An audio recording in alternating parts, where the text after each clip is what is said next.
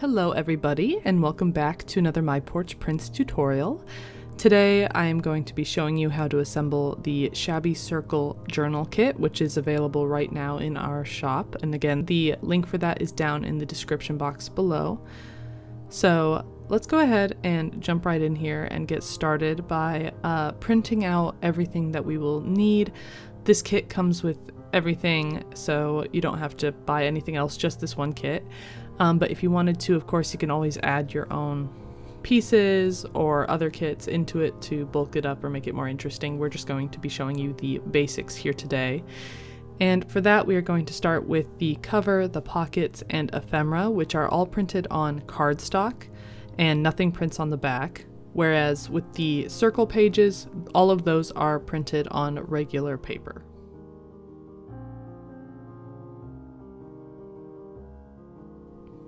And if you want more writing space, you can print several of the lined writing pages, which you can see right here, if you just want to have a little more room for that. And when cutting out the circle pages, um, it helps if you can do them a multiple at a time. So we are going to be taking three of these sheets and lining them up, trying to get them as straight as possible. And then taking a small clamp we are going to be clamping one side and that'll help hold that in place. And then on the other side, we are going to be peeling back each corner and applying either glue or double-sided tape. I'll be using double-sided tape for mine to hold them together. And that way they will stay aligned and you can just cut out multiple pages at a time and make it a little bit faster.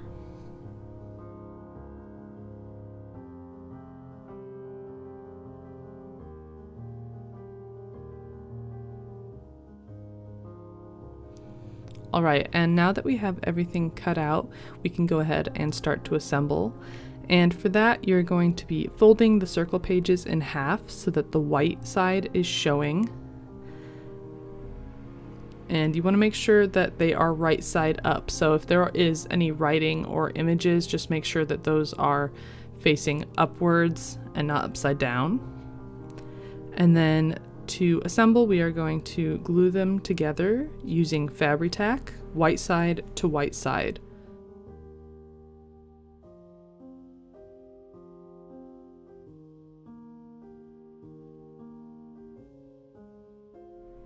And the key with this is to try to make sure that you get the spine lined up as evenly as possible. So not too high, not too low, just sort of double checking as you go and gluing it down.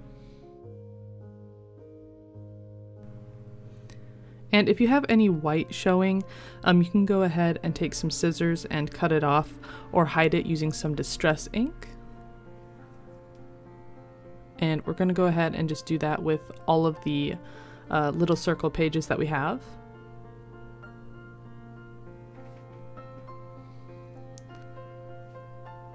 And when you are done, it should look something like this.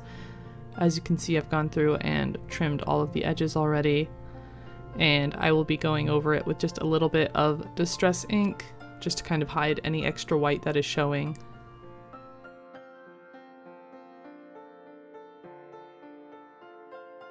And you can use any ink color that you want. I'm going with the vintage photo ink and a stamper here and just sort of carefully going each page. You can do multiple pages at a time if you want. Um, I found that that missed some spots though, so I tried to do all of them uh, individually just to make sure I had thorough coverage.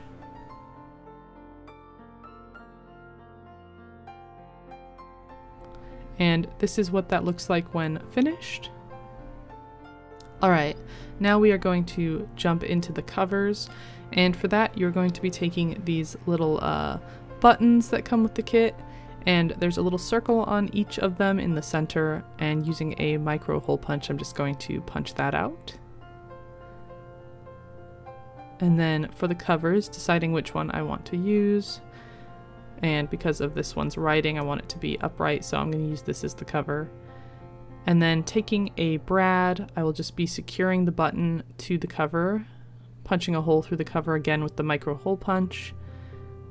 And this way you can hide the brad underneath the cover after gluing it down.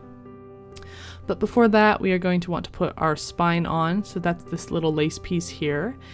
And we are just going to glue this on, like sort of fold it over the cover, sort of form it to the shape of the spine.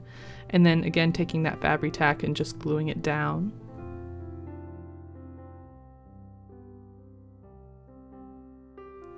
And this is what that should look like when it's finished. And now we can go ahead and glue our covers on to hide that spine and that uh, brad.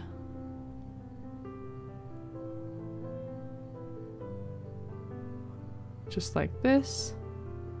And again, if you have any white showing, just trim that off and add a little bit of Distress ink.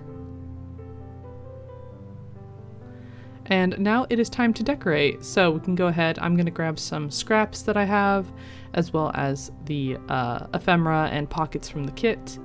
And I'm just going to be gluing down some little scraps and labels and just sort of doing a general quick decorating for you guys.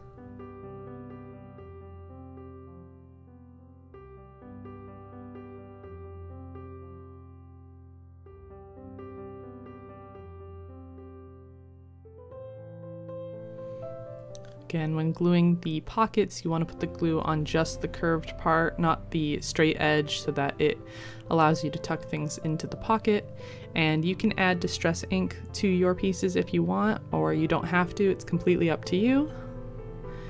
You can use your pockets uh, on both pages or one page. You can use them sideways and tuck things into them that way. Really get as creative as you want here. I'll just be keeping it pretty pretty straightforward for now. And when you're done, this is what it should look like. Just a quick little simple project that you can use to make like your own little journal or add it into an existing one.